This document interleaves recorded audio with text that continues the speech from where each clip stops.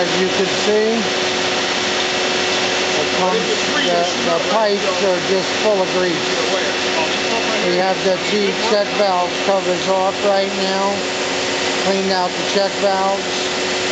And these pipes that are coming out of the basin are nothing but grease.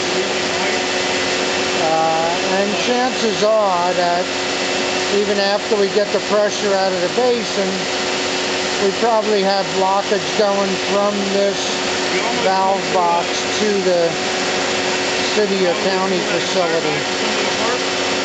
Um, as you can see, sometimes the water slows down and even stops from coming out. And that's caused by the grease just coagulating in the pipe.